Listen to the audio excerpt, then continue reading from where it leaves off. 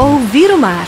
Ir na praia sem sair do lugar e ter produto Santa Helena para devorar. Cada um com seu verão.